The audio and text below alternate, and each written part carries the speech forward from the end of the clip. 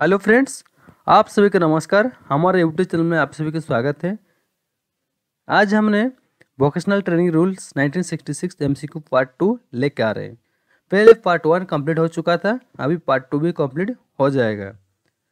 इसमें बहुत अच्छा क्वेश्चन लेके आए हैं। ये वीडियो का लास्ट एंड तक ज़रूर देखिएगा।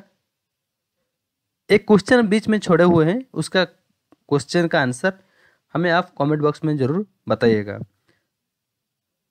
तो पहले आइए हम पहला क्वेश्चन डिस्कस करते हैं। पहला क्वेश्चन क्या पूछ रहे हैं? Type of vocational training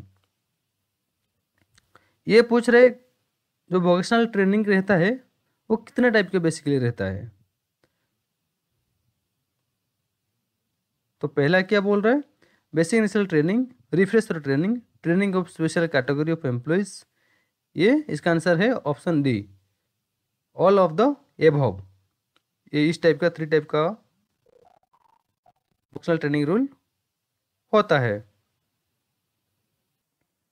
question number two क्या कह रहा है? What is the basic initial training जो बेसिक इनिशियल ट्रेनिंग का अर्थ क्या होता है? तो इसका आंसर क्या है? ऑप्शन डी ऑप्शन ए क्या बोल रहे हैं? टू ऑल न्यू वर्कर्स और न्यू वर्कर्स के लिए होता है। जब कोई माइंस में नया जब ज्वाइनिंग करता है, उसको जब ट्रेनिंग दिया जाता है, ठीक है, उसी तरह ये नोया वर्कर्स के लिए होता है। Option B on introduction of new technique और न्यू टाइप ऑफ़ मशीनरी तो concern workers tradesman on operator shall be trained about it fresh engagement अगर कोई मशीनरी के ये में काम करते हैं वर्कर्स वर्कशॉप में वर्कर्स का काम करते हैं ऑपरेटर्स में जो आदमी काम करते हैं, जब उनको ट्रेंड किया जाता है, जो काम से एंगेज करने से पहले जो उनको ट्रेनिंग दिया जाता है, इस पर्सन को बेसिक इनिशियल ट्रेनिंग दिया जाता है।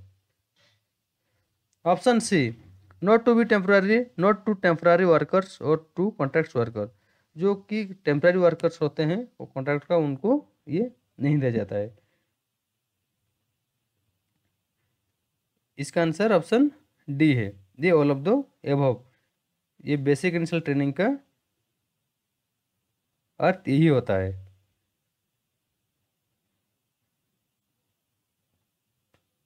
Question number three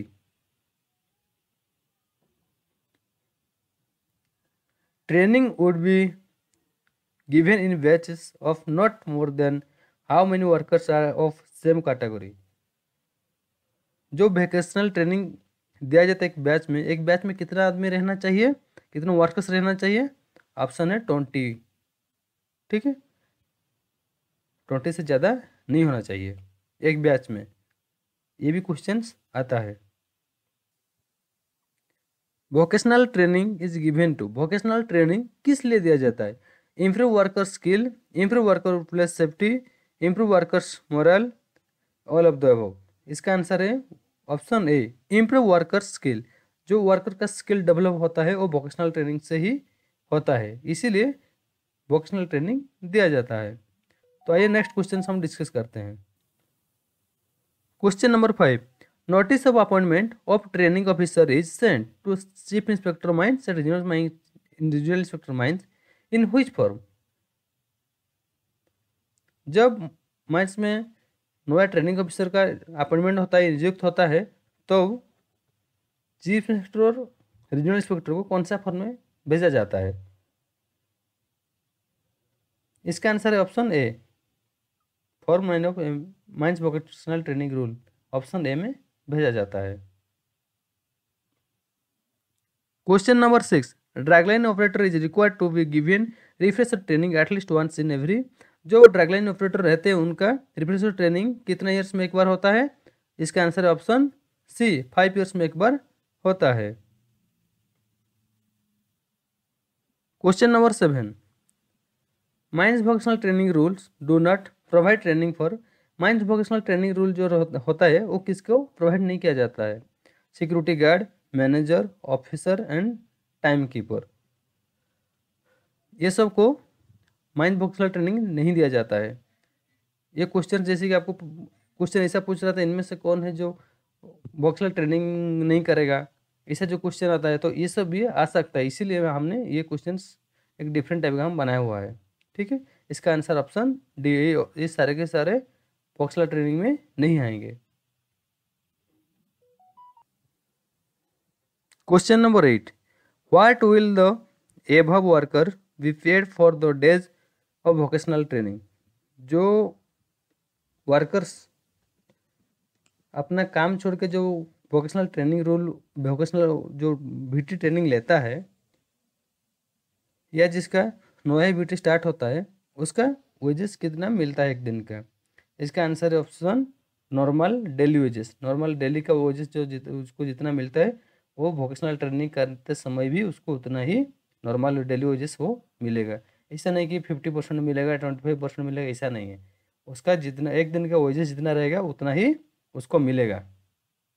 ऐसा नहीं कि वो वोकेशनल ट्रेनिंग रूल वीटी कर रहे, उसको पैसा नहीं देना चाहिए, ऐसा नहीं होता है। इसका जो एक दिन का वजह जितना होता है, उसको उतना पेमेंट किया जाता है एक दिन के लिए।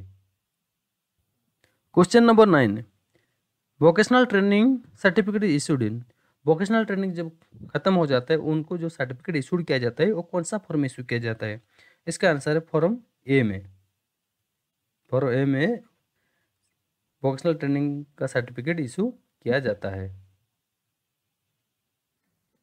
Question number ten training officer of a vegetable training centre should be a holder of first class manager certificate with at least dash year experience of mind ये बोल रहे जो ट्रेन वोकेशनल ट्रेनिंग में जो ऑफिसर रहते हैं उनका क्या सर्टिफिकेट होना चाहिए और उनका कितना साल एक्सपीरियंस होना चाहिए उस माइंस में?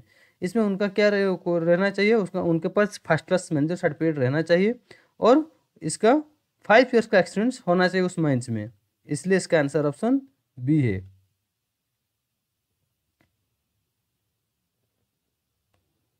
Question number eleven. मैंने जैसे कि पहले वीडियो स्टार्ट करने से पहले बताया, बता रहा था कि एक क्वेश्चन हम छोड़े हुए हैं। इसका आंसर आप हमें कमेंट बॉक्स में बताइएगा।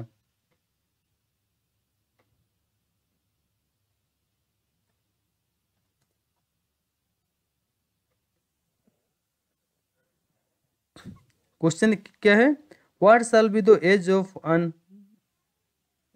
foreman to be appointment as instructor in a VT centre. Vocational training centre में जब एक माइन फॉरमैन को अपॉइंटमेंट किया जाता है एक इंस्ट्रक्टर के पोस्ट पे, उनका कितना इयर्स का एक्सपीरियंस होना चाहिए?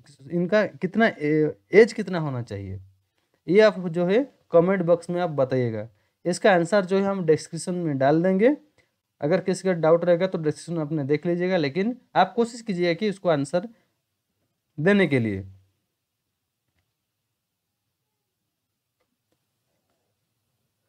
Question number twelve duties of training officer और एक ट्रेनिंग ऑफिसर का ड्यूटी और रेस्पॉन्सिबिलिटी ड्यूटी क्या होता है?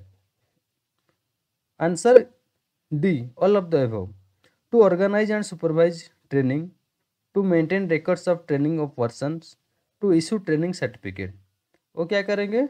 उनका जो ट्रेनिंग रहता है, वो सुपरवाइजर वो ऑर्गेनाइज करते हैं कि कब वो रखा जाएगा ट्रेनिंग उनका सुपरवाइजर का जो ट्रेनिंग रहता है, उसको भी हम देखेंगे।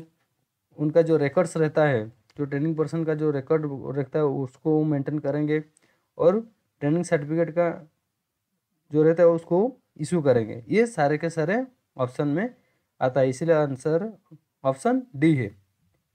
ट्रेनिंग ऑफिसर का ड्यूटी यही होता है। Question number thirteen how to improvement of vocational training. जो वोकेशनल ट्रेनिंग सेंटर रहता है, उसको कैसे इम्प्रूवमेंट किया जाएगा? तो इसका आंसर क्या है? इसका आंसर है option D, all of the above. तो क्या क्या बोल रहा है? ऑप्शन ए में, higher management support and involvement, posting of competent training officer and staff,